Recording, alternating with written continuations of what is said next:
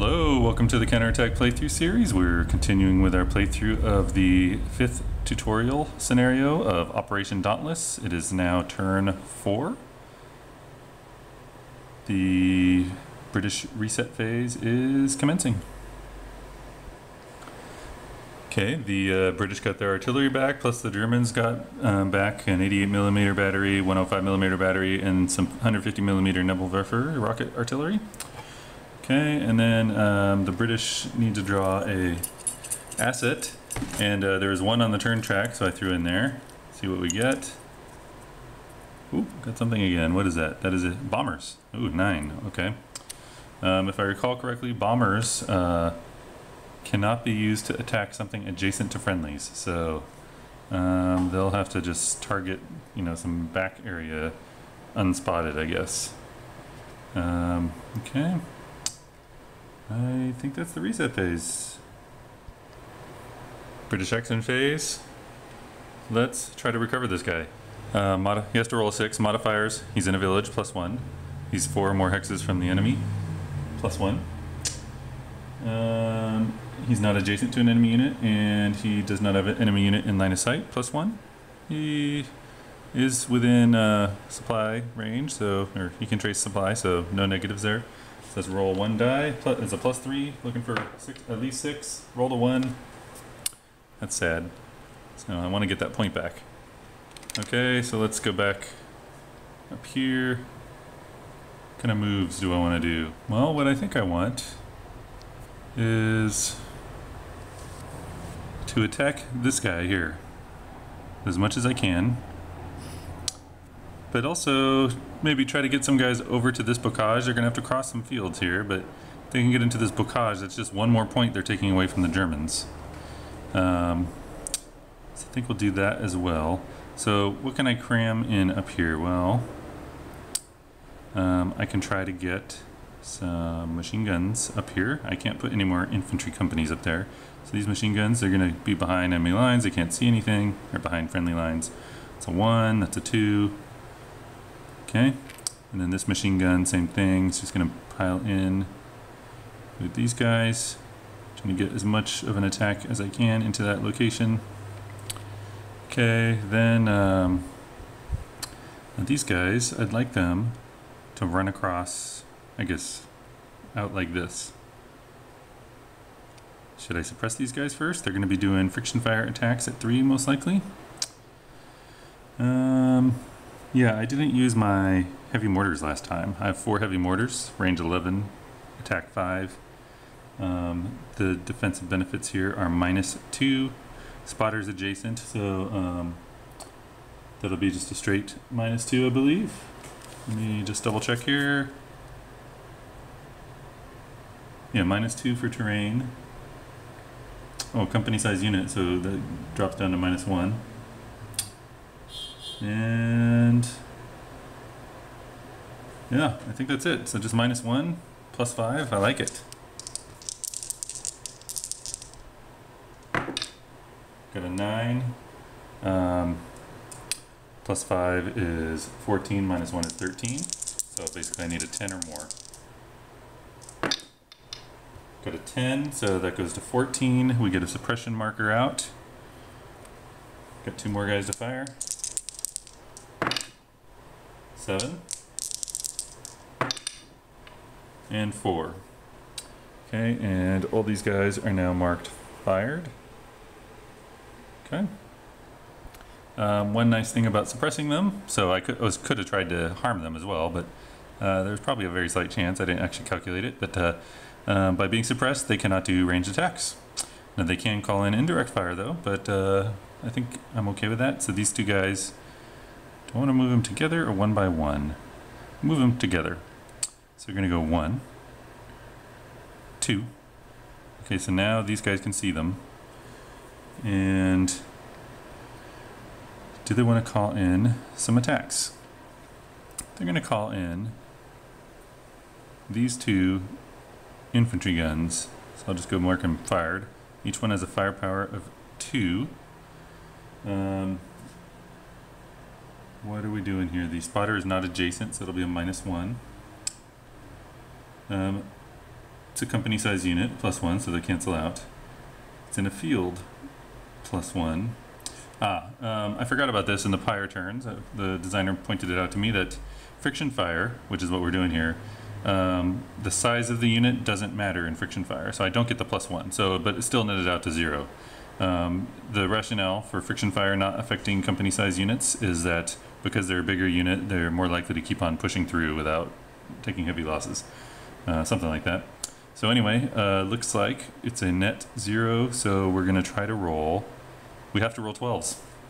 Uh, so two, one in 36 chances of stopping those guys.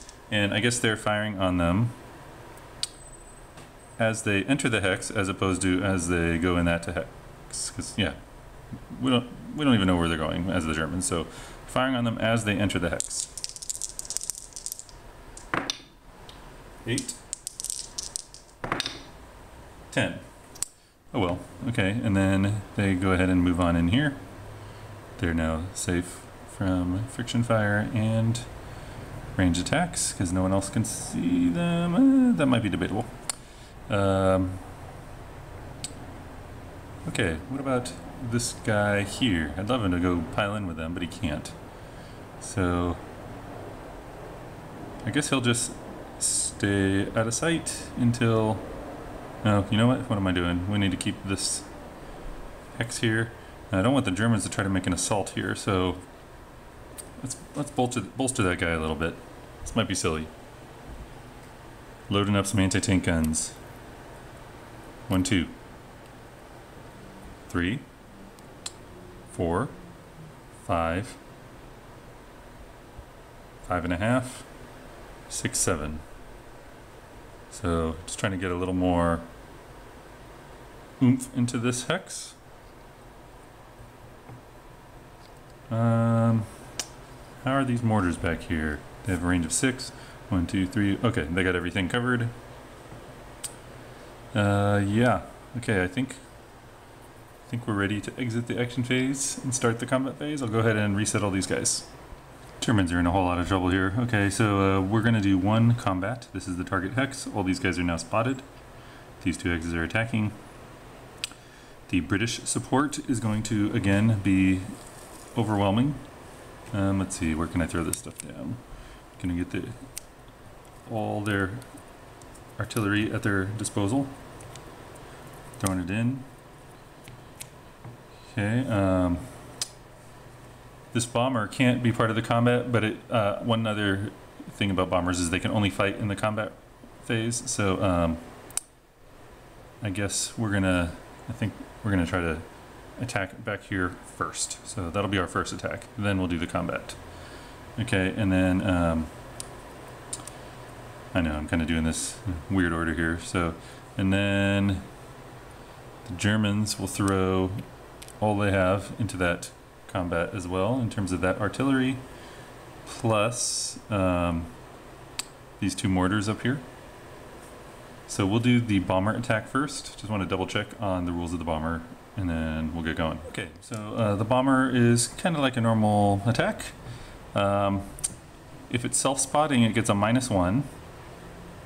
Over this guy is spotting across this hex spine through the river. So he is uh, one level up, I think. It's hard to see here. Oh, uh, well, the center hex of the, the center dot of this hex requires line of sight to cross the boundary of the river. And the river has like tree line all the way down it, so all uh, waterways, including this river, uh, the edge blocks line of sight. So guess he does not have line of sight. There's no eyelash symbols indicating a slope there, so um, I guess they're not spotted after all. Okay, so it's gonna be minus one for he has to self-spot. And then, um, let's see, minus one for, um, yeah, I guess there's, is, that doesn't include a company. Uh, minus one for being dug in. Yeah, I think that's it. Minus one for being dug in and minus one for self-spotting. We're rolling a nine, uh, adding nine to our roll, I should say. Ah, that could have been a nice attack. Four plus nine is 13. Uh, minus one for being dug in, minus one for self-spotting. Yep. Okay, so this guy goes onto the, uh, oh, out of the game. He's out of the game. Uh, because he has to go two turns in the future and there's only one turn left. Okay, so these guys successfully weathered that. Uh, if there was flak, it would also um, limit that unit's attack. Same thing with that fighter bomber attack earlier.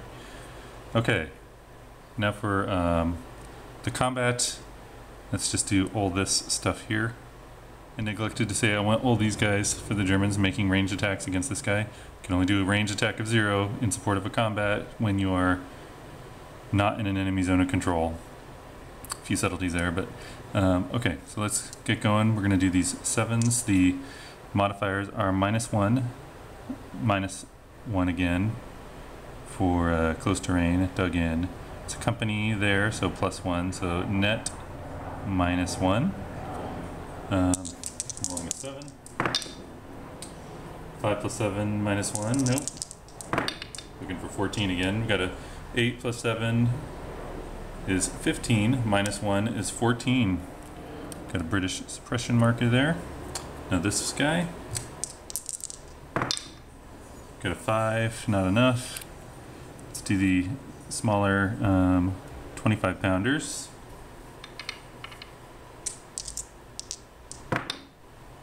Got 8 plus 6 is 4, minus 1, just missed. 7, nope. 9 plus 6 is 15 minus 1. That's another suppress marker. Sure would like to get a 12, which I think would do an, a loss to the Germans. Last guy. 9. That's another suppress marker. Probably should have thrown my mortars in, but I didn't declare them. My two remaining company level mortars. Okay, so these guys, um, I should have said who they're going to attack, I guess, but um, that's light bocage there. They're all going here, and then all these guys over here will go here. So let's start with the 8. We're looking at um, plus 1 for company level units there. And I think that's it. Um, they're not concealed. Just kind of looking through what we have here. Yeah, so um, might be a big thing. 10 plus 8 is 18 minus 1. Wait, why am I saying minus 1? Oh, plus 1, 19. Um, hmm, that's a good roll. 19. It's going to do two step reductions and a suppress. Um, I'm just trying to see if there's anything I'm missing. I don't think so. So, uh, Germans suppress these guys, and there are two losses. Um, oof, this is dangerous because there's still more artillery filing in on this spot. Uh, by the way, I kind of whined a little about range fire. Um, looks like when you mass artillery, uh, you get better results when it's close terrain. Okay, so that's two points right there. Um, this guy, I need to roll a, a one or he's out of the game. Five, he's out of the game. Okay, now these two fives. Roll a five, not enough. Roll a five again, not enough. Let's see what we got here. Divide by two on their rolls. I'm gonna roll two dice, one for each. We got a five and a six divided by two rounded up is three turns out. They're both out of the game. So next turn there's just one artillery coming back for the Germans. Okay, they got a suppression there. Now all these guys here, their RAS is three. It's gonna be minus one for close terrain. I think that's it. Um, let's see, that means if I roll a 12 plus 3 minus 1, that's 14. Need, needs 12. So I'm just going to roll four times looking for 12s. 8, 6, 9, 6. Okay, long shot there. Um, let's grab these suppression markers. So these cancel each other out. That leaves two British suppression. Let's not forget these two mortars up here We'll do the four. Um, Who would I have targeted? I would have targeted the easier guys. So, um, it's a minus one. Eight plus four is 12. Nope. And then we'll do the three level guy, minus one. Five. Nope. Okay, so they fired. Someday I'll remember everything. Okay. Let's figure this out. See, there's 30 here. 2, 2, 2, 1 times 2, 2, 8. 30 to 8. It's not quite 4 to 1, so that's 3 to 1. Shifts for the British 4 to 1, 5 to 1, 6 to 1 armored. For the Germans, drops down to 5 for dug in, 4 for close terrain, 3 for engineers. A little tighter here, 3 to 1. I think I got everyone. Uh, here we go. Got an 8, 8 on 3 to 1. Hmm. Man, uh, if you're 3 or 1 or more, you're pretty you're looking pretty good in general. So uh, 0 3. Um, okay, let's see what's down in here. I'll put that dug in marker back in a second. So if I want to hold this hex, I would to save myself the two points it's worth. Um, I would have to eliminate three units. These are all single step units, they're worth one point each, so I'd be losing three unit three points to save two. I retreat, save these guys, British will move in, get a pretty key hex. These guys are would be close to being cut off, which might be fine. Maybe they just kind of fight for the last few bocage hexes, try to keep some points. Maybe that's what I want. Hmm. Yeah, I think I'm going to give up two points to try to preserve three. So, um, that means if they retreat three hexes, this guy actually cannot retreat three hexes. He can only retreat two. So he's going to die. That's one point. Gosh darn it. So no matter what, three are being lost. Okay. So now the question is, do I want to lose two points to preserve two, now that that's out of there? Or, hmm. I don't have any any other troops to like fill in after two guys die. So, okay, so I have two retreats remaining. They're to go one, two. Have them retreat together. I could have retreated them off the map, but I think I'm going to fight it out for the last bit of bocage here. Okay, British. Who are they going to advance? I think they're going to. Let's see, they still have one more village hex to take. I think they're going to advance these guys.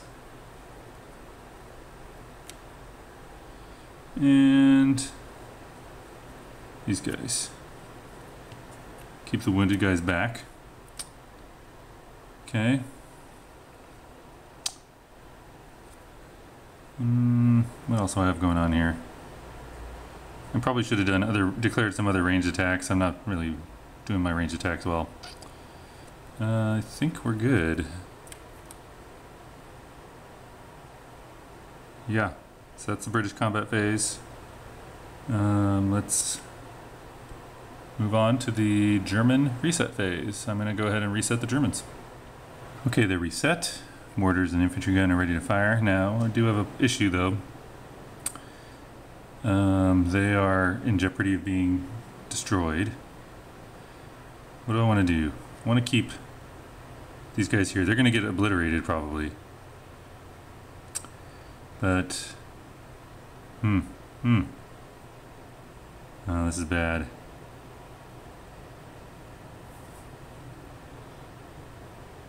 Just trying to decide, like, should I keep one guy in there so that he would die, lose a point, and then they'd get the town for two? I'm talking about on the British turn. But I would preserve some guys back here to make it harder next turn to take some more. I think the British are just going to steamroll this. So, uh, yeah, having a hard time defending here. Definitely want to keep the close terrain. So we got eight points in there. Unfortunately, we have a concentric attack coming. Yeah, so, by the way, action phase, if I didn't mention it, let's retreat these infantry guns off the game. Okay, and then uh, those mortars.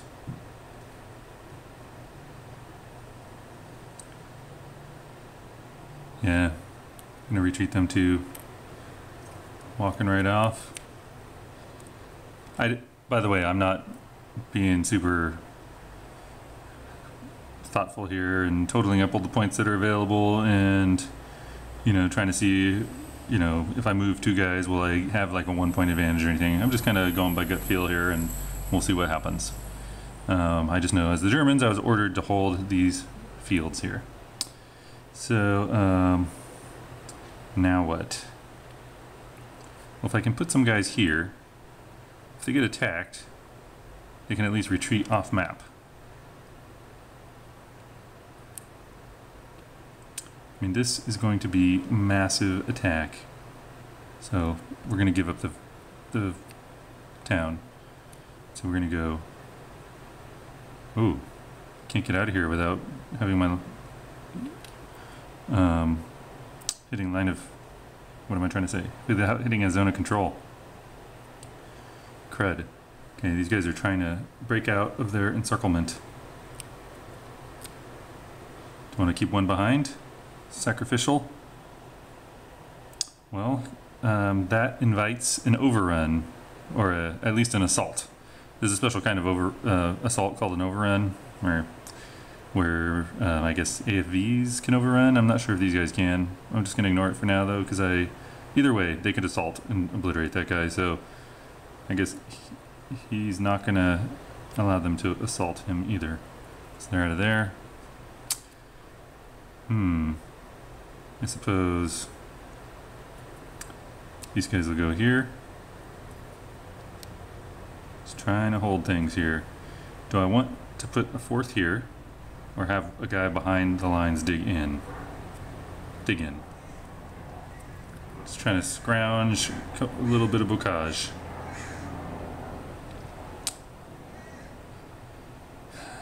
Yeah, that was the action phase. Did anyone not do anything? Nope. Said all these guys for the combat phase. This guy actually did not do anything, but uh, he is in enemy zone of control, so cannot do a ranged attack. These guys are in enemy zone of control, cannot do a ranged attack. This guy can't see anyone. Um, that's the German turn. And the end of turn four. Catch you on the last turn.